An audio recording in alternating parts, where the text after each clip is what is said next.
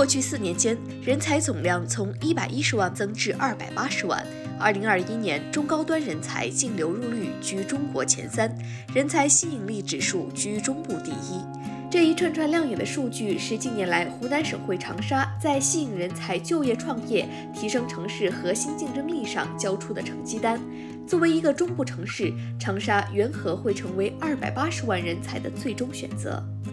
眼下正值求职季，发现新长沙首先来到长沙青年人才驿站，试图找寻答案。我叫段宇航，我今年二十二岁，我来自四川成都。嗯，我来到长沙。呃，找工作，当时我们学校校招的时候，我就了解到青年人才驿站，只需要在小程序上简单填写一下自己的资料，就可以第二天申请到了床位。现在住了四天了。青年人才驿站群里面，他实时发布了很多招聘的信息，然后提供很多就业渠道跟我们去了解。同时，他楼下呢也有现场招聘的信息跟我们了解，让我们就业方面有更强的信心。贴心给外地来长求职青年提供落脚第一站，仅是长沙打好引才、育才、留才组合拳、厚植人才发展生态圈的一个缩影。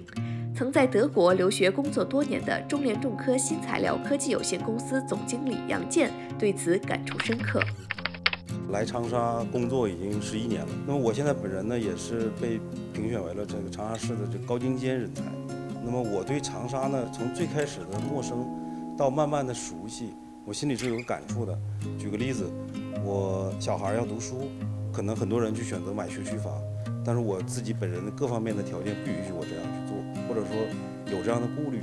政府了解到这情况以后，我也看到人才政策以后，我就积极去申请。那么从我申请到落下来，这个政策大概用了三四个月的时间。我觉得这已经非常快了，刷新了我很多记录。我觉得长沙的政策我是亲身感受到的，非常的够诚恳，写在纸上，记在心里，落在卡上。除了软实力，城市硬实力同样被杨健看中。在他看来，长沙虽是中部城市，但区位交通优势明显，产业基础雄厚，拥有让企业可以持续发展的好土壤，让人才可以施展拳脚的大舞台。作为一个企业啊。其实最关注的就是能不能长期的发展可持续，这一点我在长沙是清楚的能够看到的。我们现在这个团队就呃两百人，那么我们未来五到十年的话，可能发展到一个万人级别的这么一个企业。然后长沙又具备了这么一块土壤，从引才、引智、引资这个角度来看，我们有足够的信心吸引到这么多人到我们这里来，一起并肩把这个业务做好。聚焦人才关注的就业、创业和生活等问题，长沙不断强化人才服务保障，同时创新招才引智模式，通过打造国家海外人才离岸创新创业基地等创新创业平台，搭建海外人才离岸创新创业服务体系，建设海外工作站，促进海外资源聚集。我们离岸基地正式揭牌以来，呃，在以色列、瑞典、美国、德国四个地方建立了海外工作站。同时，我们也组织了十几场的线上线下的这个交流项目推介活动，推荐了五十多个创新创业的项目，都是来自海外的高层次的人才团队。呃同时，在我们园区呢，已经有呃像做